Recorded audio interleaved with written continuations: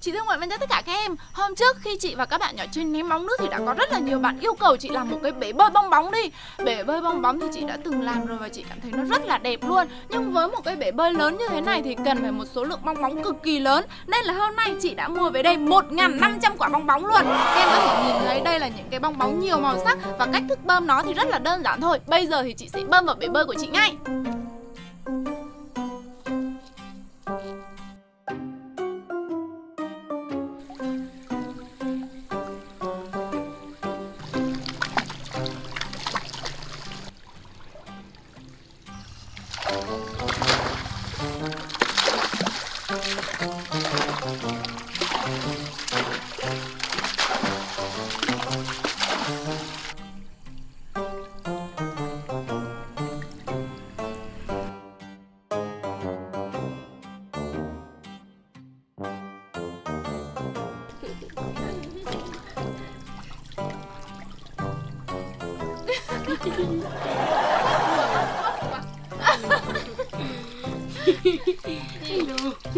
Sau khoảng một tiếng hì hục thì cuối cùng chị cũng đã bơm được 2.000 quả bóng Hả?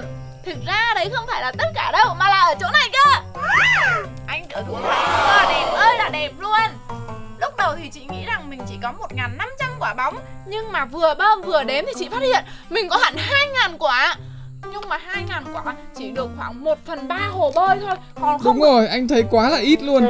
Y hệt như là muối bỏ biển đó anh Tiểu Thúi nhỉ? Chắc là cái hồ bơi này của em to quá. Chắc là cái hồ bơi này phải chứa được 10.000 quả bóng luôn á. Không, 20 ngàn có khi vẫn được. Nhưng mà cái hồ bơi này thì chỉ chứa được khoảng 10 bạn phú thôi. Đúng, nếu mà nếu, nếu mà thêm 11 bạn phú thì chắc chắn là nước sẽ bị tràn ra đúng không anh Tiểu Đúng Thúi vậy. Chú nhà à, Bây giờ thì chị sẽ à, Sau khi bơm xong á, thì chị cảm thấy rằng có rất là nhiều quả bóng đã bị xì nước ra Các em có thấy không? Lúc đầu thì chị bơm rất là to luôn Nhưng mà sau đó nó xì nước ra. Ừm, còn Đúng rồi, có những quả thì bị xì nước ra và đã còn miếng nào. teo lại hết. Có Có những quả này còn bị vỡ ra nữa cơ. Có quả thì lơ lửng Có quả thì chìm xuống dưới đáy. Không Ờ, hiểu anh không hiểu tại sao lại có những quả bị chìm như thế nhỉ? À à em Giống hiểu rồi anh chú. À à nếu như là Phú Thì Phú sẽ nổi. Bởi, À. bởi vì Phú có nhiều mỡ Còn nếu như là Linh á Thì Linh sẽ chìm Bởi vì Linh không có mỡ à Đúng rồi Linh Không phải, cái đấy không phải là nguyên lý anh vừa phát hiện ra rồi Em để ý kìa những cái quả nào mà nó nổi ấy Thì là nó sẽ có không khí ở bên trong một ít Thấy không? À, à, à vậy là Ơ, trong có những quả không có không khí kìa Mà sao nó không nổi, à mà sao nó vẫn nổi nhỉ? đâu nhỉ? Có mà. Thế tại sao, tại sao có những quả lại chìm hết xuống dưới kia? Tại vì nó không có không khí, giống như kiểu Phú á, Phú không phải là là là Phú có nhiều mỡ mà nổi đâu, mà trong người Phú không đấy không phải là mỡ, đấy là không khí đó. Không khí à? Đúng rồi, đúng không con? Không tin thì hấp bụng lại cô coi.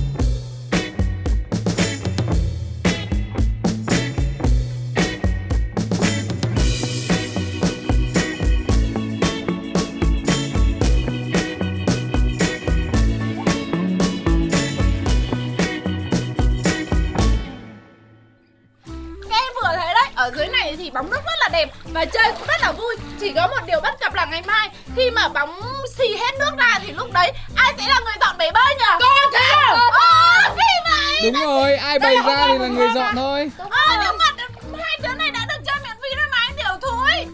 Vậy bây thì giờ bây- bây giờ bây giờ là do em quyết định thôi. từ từ. Bây giờ mình chơi ném bóng nước này Ba người. thôi nãy Chơi đơn à bây giờ bây giờ hai đứa một phe. Có thể một phe ai, chịu thua thì người đấy là người dọn. À, kỳ cục quá. Ok trò chơi bắt đầu. Hãy đợi đấy sang đây A few moments later. thôi bọn mình đình chiến đi. Mệt quá. Ngày mai ba đứa mình cùng dọn. Ok. Ok. Nghỉ một tí đã theo như anh thấy thì cái hồ bơi này của chị thơ thì chỉ có một vài cái góc là có nhiều bong bóng thôi. Chứ còn ở giữa này thì chả có mấy quả cả. Nhưng như thế này là được rồi anh tiểu Đúng thúi rồi chú nếu Đúng như mà bong bóng hết chỗ này thì sẽ không có chỗ để bơi nữa đấy anh tiểu thúi à thế à? Đúng. Em làm như thế này là có ý đồ đó.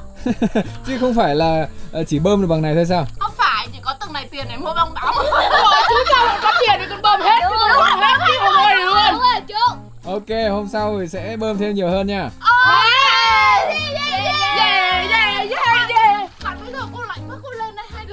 bơi tối thôi Mệt mỏi đúng là thân giả sức yếu, Video của chính đến đây cũng là kết thúc rồi.